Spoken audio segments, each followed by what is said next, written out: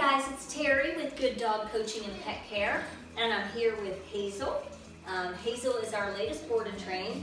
She's a five to five and a half month old lab mix.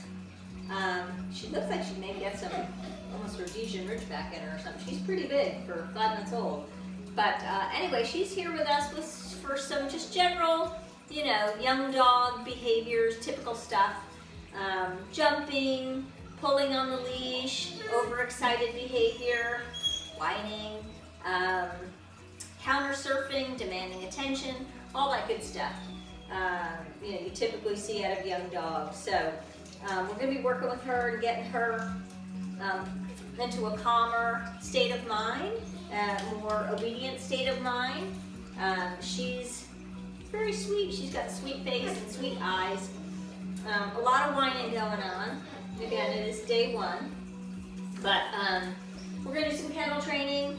But also, one thing I wanted to talk about real quick to share with you guys. So, you know, if you're using a, a prong collar with your dog, which is fine, um, nothing wrong with a prong collar, they're great.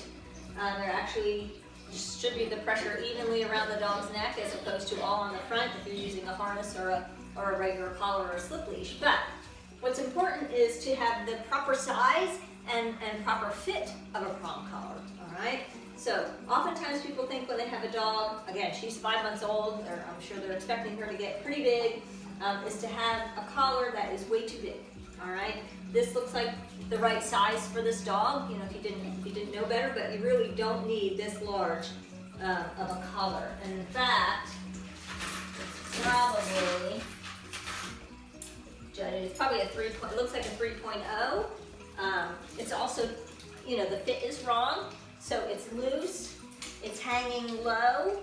Um, when she got here, it was actually down below her regular collar. So let's real quick talk about, go over what, what is the proper fit um, uh, of how, if you're gonna use a prong collar, okay? And also you need to know how to use a prong collar. There's a proper way to use it and introduce it to the dog. Um, we're not gonna talk about that, we're just strictly gonna talk about the fit. So, so again, this looks like a 3.0, which is just the gauge of the, the thickness of the metal itself. Um, this is a 2.25, and you can see it's a lot thinner than this right here. So it's much lighter weight on the dog's neck. A prong collar is meant to be worn snug and up high, and so a lot less weight, so, so it's more likely to stay up where it's meant to be. Uh, so I'm gonna put this on her and you're gonna see the difference. Um, again, if I pull on this, you know, it, it snugs up, obviously, but when I'm not pulling, you see how it's hanging way down here? Um, and again, it was back here. It should be in front. It should be the first thing. So if you're using a prong collar, it should be at the top of the dog's neck, right under their chin and right behind their ears, basically. And then yes, having a regular collar is a good idea um, because you actually want to attach a carabiner from your prong collar. There's an O-ring, which is just a circle, from that to your regular collar as a safety backup. It's rare, but it happens sometimes that a prong collar comes open or the this one has a quick release clasp on it. It can come open.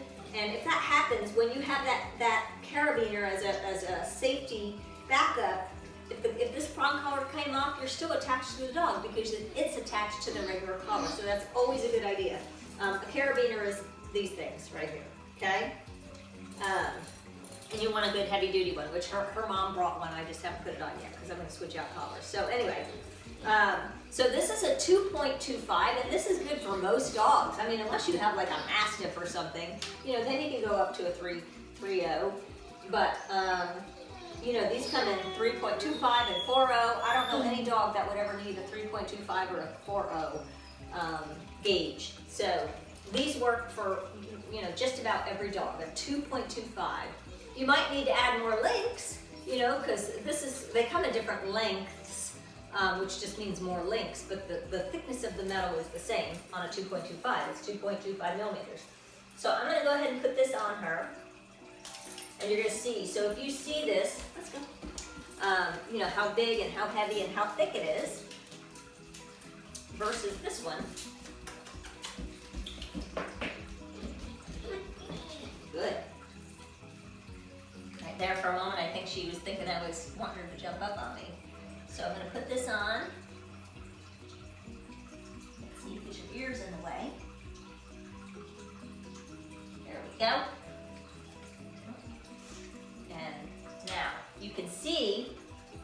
Hopefully you can see the difference. Good.